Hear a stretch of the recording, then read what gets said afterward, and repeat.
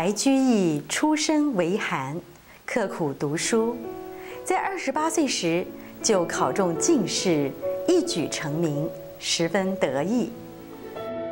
一生为官，一直到了四十四岁时，因为宰相武元衡被刺杀一案，得罪当道，被贬为江州司马。这是他政治和创作上的重大转捩点。从此，在沉郁中，他寄情山水，诗作渐转为不问世事的风格。到了晚年时，更隐居洛阳，皈依佛教，过着潜心修行的日子。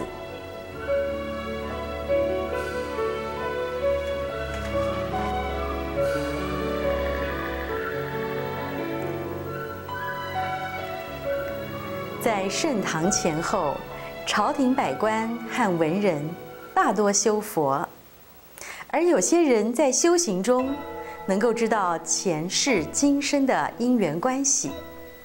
白居易也是其中之一，这也是他修行中很有趣的部分。他的《白香山集》中有一首自解的诗里，就写着。房传往事为禅客，王道前身应画师。我亦定中观宿命，多生债负是歌诗。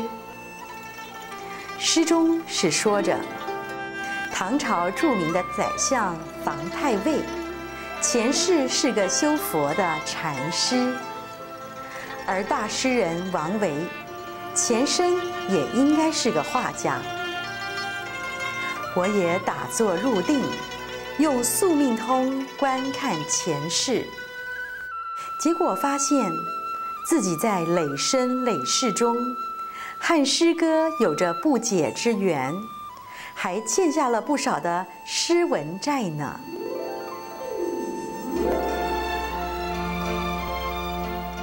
可见白居易这个时候。已经修出了宿命神通，而他的诗歌才华，也是在累世转生中不断的累积而成的。所以白居易在十六岁时就能写出“野火烧不尽，春风吹又生”的千古名句啊，也不是没有原因的。这也为历史上的天才找到了最自然的解释，而这种说法也已经被当今轮回转世的科学研究所证实了。在宋朝的《太平广记》中，就有一则故事是说白居易的。话说有一艘商船，因为暴风雨迷途。在大海里飘荡了一个多月，最后来到了一座海上的大山。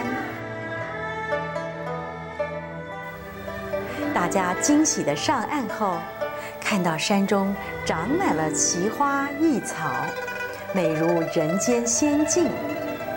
还发现有一座壮丽的寺观，也碰到了一位道士打扮的人，他的胡须眉毛。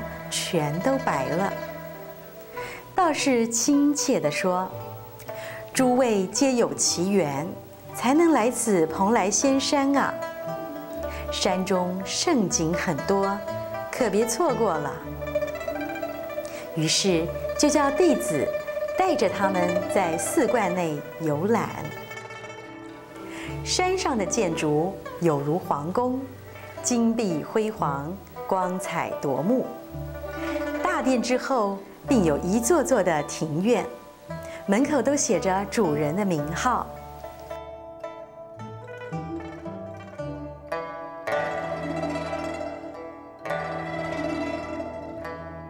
当走到最后一间时，看见院门却是锁着的。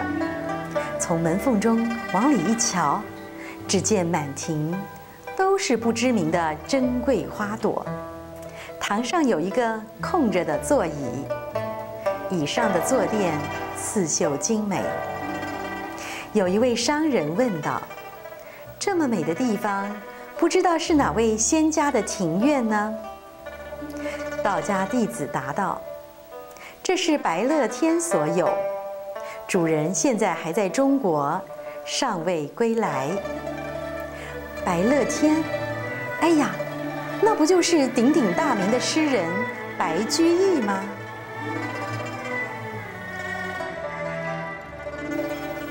商人们回来后，就把这事儿传开了。后来白居易也听到了，还因为这个传说写了一首诗：“吾学空门不学仙，恐君此语是虚传。海山不是无归处，归即应归兜率天。”兜率天是弥勒佛造的一层天。白居易认为他是学佛的人，所以最后应该是归于佛家的世界，而不是来源于仙道的。然而，人在世间就像入了迷途，谁又真正知道自己的前世今生呢？